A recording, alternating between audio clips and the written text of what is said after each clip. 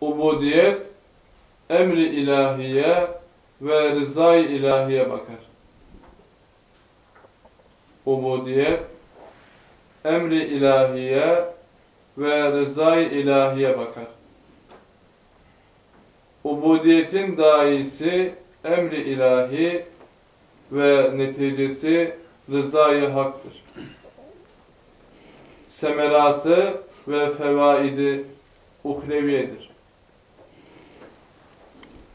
Ubudiyetin daisi Ubudiyetin daisi emri ilahi ve neticesi rızayı haktır.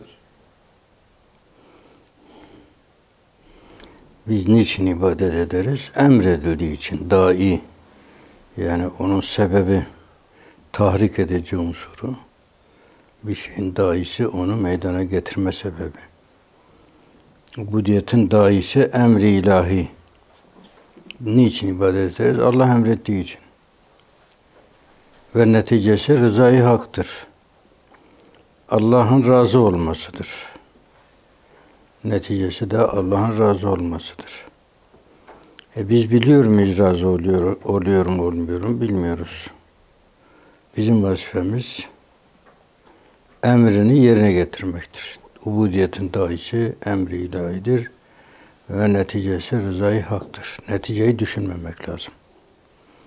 Neticeyi düşünmek bizim vazifemiz değil. O Rabbimizin vazifesi. Bizim vazifemiz emre ittiba etmektir. Emre göre hareket etmektir. Namaz kılın demiş, kılacağız. Kabul oldu mu olmadı mı?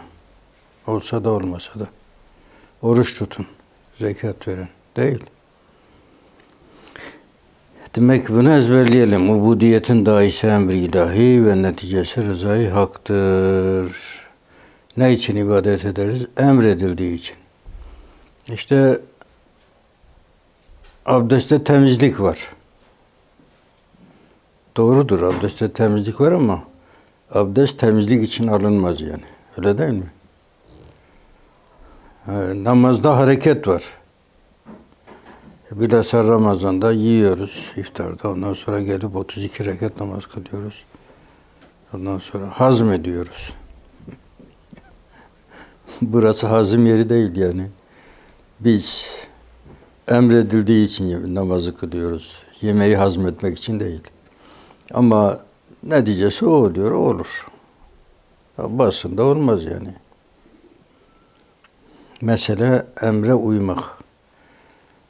Ubudiyetin daisi emri ilahi ve neticesi rızayı haktır.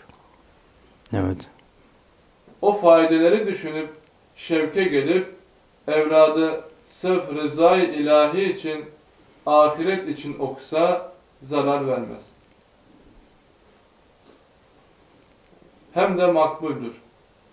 Bu hikmet anlaşılmadığından çoklar aktaptan ve selef-i salihinden mervi olan faydeleri görmediklerinden şüpheye düşer, hatta inkar eder. Dua ediyoruz, ediyoruz, kabul olmuyor. İşte Fatih duasını yapıyoruz. El, bir şey elde edemiyoruz. Bilmem Ceşenül Kebir'i okuyoruz. Bir şey elde edemiyoruz. Ceşenül Kebir bir şey elde etmek için okunmaz, okunmaz ki. O Allah rızası için okunur. Rabbimizin münasip, Rabbimiz münasip görürse senin ihtiyacını da yerine getirir. Ama o cevşen için değildir yani. Rabbimiz onu verirse verir. Cevşen alakası yok o işin. Evratları sırf rıza ilahi için okumak lazım geliyor. Ona bir menfaat için.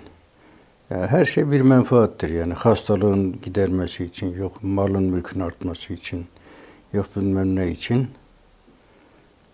Evet, yani o gibi büyüklere öyle şeyler tereddüt ediyor ama istememek lazım.